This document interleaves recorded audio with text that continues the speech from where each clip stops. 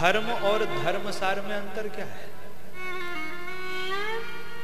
जैसे आम का फल है, आम के फल में छिलका भी है, गुठली भी है और रस भी है। तो किसी को यदि आम खाना है, एक एक जो मूर्ख होंगे, वो क्या करेंगे?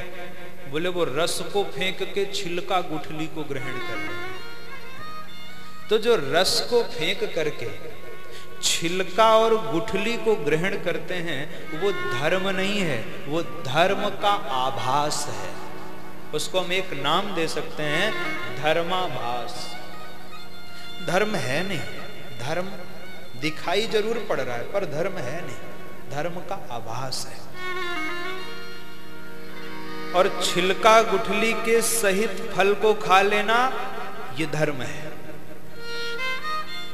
क्योंकि छिलका फल की रक्षा करता है और गुठली उसकी परंपरा को बचाने में सहयोग करती है। तो उसके साथ में ग्रहण करना ये धर्म है। लेकिन छिलका और गुठली को फेंक करके आम के रस को पी जाना ये धर्म का सार है। मैंगो जूस पीते हैं ना हम लोग? तो छिलका गुठली फेंक के केवल आम का रस पी जाना ये क्या है? धर्म का सार है। और वशिष्ठ जी कहते हैं समुझब कहब करब तुम जोई, धर्म सार जग